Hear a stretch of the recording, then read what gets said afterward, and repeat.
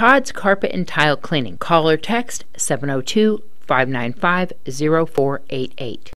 In this week's court report, William Paul Spangler is currently out on a $5,000 active bond after that high school teacher is arrested for what is said to be an attempted sexual relationship with a student. However, formal charges are still pending for the suspect who is accused of committing that act back in November.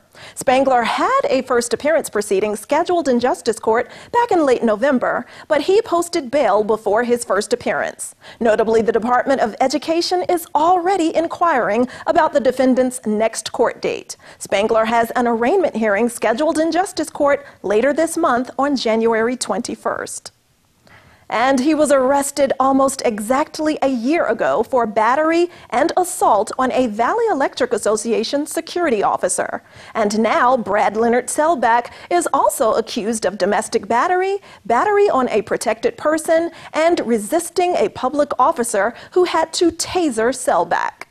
His arrest for those charges was made back in September after officers were dispatched to a home on Saddleback Road for a domestic violence call. Selbach's live-in girlfriend says he was acting crazy, that he had been drinking, and that it was so bad that his own brother left the house. Officers searched and found Selbach out back hiding behind a large bush, and they say the suspect demonstrated symptoms of being under the influence of alcohol.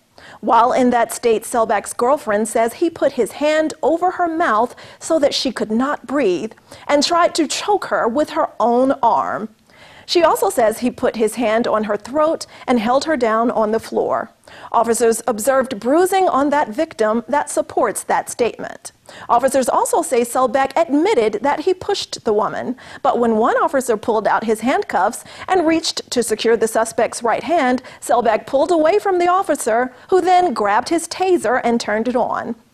That's when Selbach swung at the officer, hitting the officer in the head, which knocked his hat to the ground.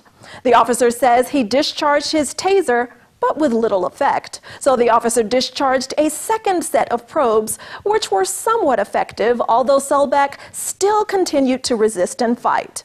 Finally, officers removed the probes from Selbach's stomach, then arrested him. Notably, there is no information for this domestic battery incident listed yet in Justice Court's files. However, notably, Selbach faced the charges of battery simple, assault, and unlawful trespass of land for his January 2019 arrest. That next month, Selbach pleaded guilty to counts one and two. Count three, trespassing, was dismissed. Selbach received 15 days in jail with credit for time served and 90 days in NCDC suspended for one year, as long as he has no further adverse contact with law enforcement, which he did. Selbach has a Justice Court hearing for that previous case scheduled in March and a status hearing for completion this April. This has been your court report. I'm Eunette Gentry for News 25.